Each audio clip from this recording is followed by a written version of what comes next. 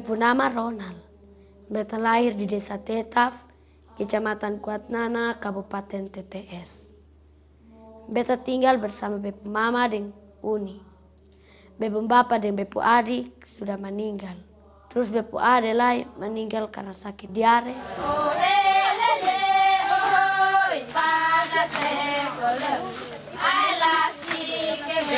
Maaf, anak mama sudah tidak bisa tertolong karena dehidrasi berat, kurang banyak cairan mama.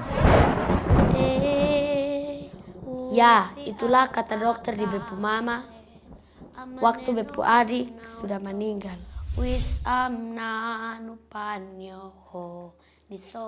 Jadi baik adik-adik, lima pilar dalam STBM itu adalah yang pertama tadi stop buang air besar di sembarang tempat.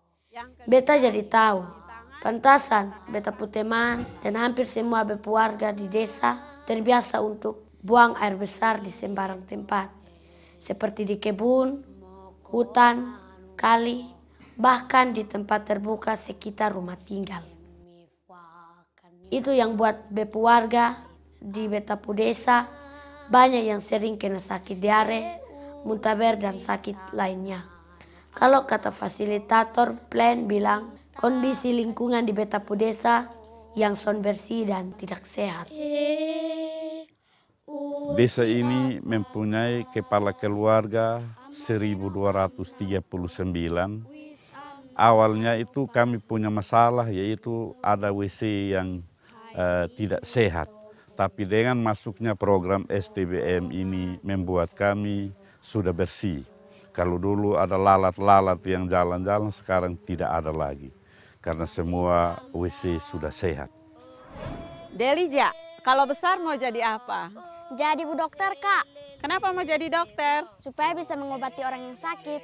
Pintar. Kalau Ronald, cita-cita mau jadi apa? Kalau beta ingin jadi fasilitator STBM. Kenapa mau jadi fasilitator STBM? Kalau jadi dokter, itu mengobati orang yang sakit. Tapi kalau jadi fasilitator STBM, itu mencegah orang agar tidak sakit. Pintar. Tepuk tangan dulu. Bersama-sama dengan Plan Indonesia, program sanitasi total berbasis masyarakat telah berhasil dilaksanakan atas kerjasama seluruh pihak. Masyarakat akan meningkatkan status sanitasinya untuk menjadi yang lebih baik dan lebih layak. Berkat kakak-kakak pendamping dari Plan, beta makin paham pentingnya hidup bersih dan sehat. Seperti sonde berak sembarang, cuci tangan dengan sabun, dan beta su tahu memilah sampah secara benar dan aman.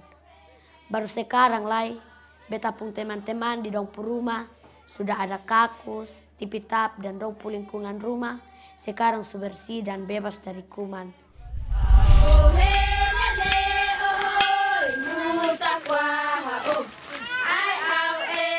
nama masyarakat dan pemerintah Kabupaten Timur Tengah Selatan menyampaikan terima kasih kepada pemerintah, pemerintah provinsi dan Plan Indonesia.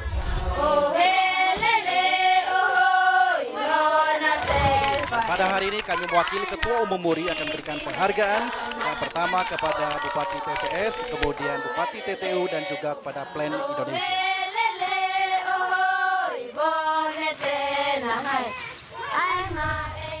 Sekarang beta pun keluarga bersih dan sehat.